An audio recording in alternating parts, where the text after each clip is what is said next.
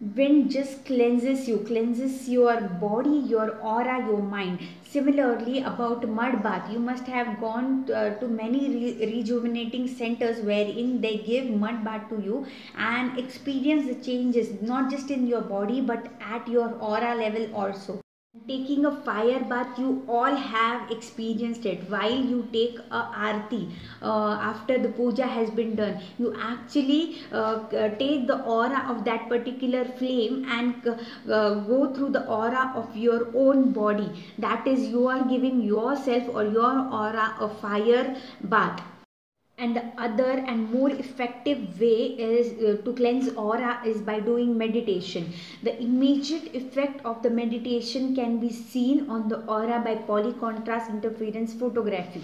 You already know that our thoughts are nothing but energy. So in meditation or in visualization process actually we are transforming our thoughts uh, and uh, we are transforming our energy experiment was performed in Gangaram Hospital wherein two groups were created one which were doing meditation just music meditation and the other group doing uh, guided meditation and the process of visualization. So there was a minor or say suppose no difference seen in the aura photography of the music meditation participants while there was a major difference seen in the photographs aura photography of uh, people doing guided uh, meditation and visualization process if you have seen the movie uh, spiritual reality therein they shows that when person do meditation he is actually removing the blockages at the etheric body level or the energy body level. So actually he is healing himself to the more deeper level. And the experiment showed in gangaram hospital was uh, the changes happened not because they were meditating for many many years. The uh, the effect or the changes they showed in the experiment was of just a single meditation of 20 minutes. So look how effective this meditation uh, process is for your body for your whole energy system of the body.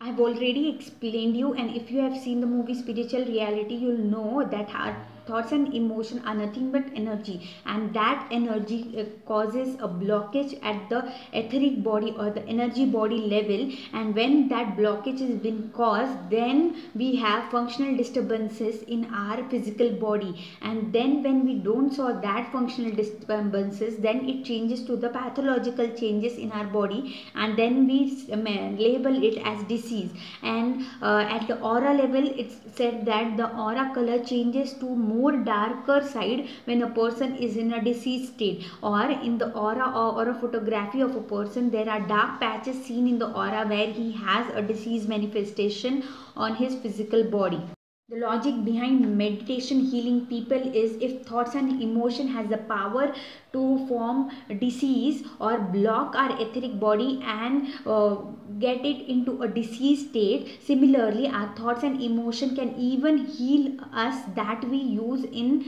meditation you know many people just do aura cleansing but uh, they land up in disease state again and again. It's said that their chronic disease con- continues and they are not healed because aura aura is very peripheral. It is out of our skin. So it is so much periphery to our core system that is our soul. So if your thoughts and emotion are not changed and you are just cleansing your aura then your disease won't get healed. So to uh, uh, get healed by a chronic disease you need to meditate at least for 3 months. And it has been proved in that research paper of Gangaram hospital that doing meditation for more than 3 months that too just not the aura cleansing or aura expansion but the uh, meditation to the more deeper level to the soul level then you can heal yourself Scientists have proved that by doing regular meditation, you heal your etheric body, your aura,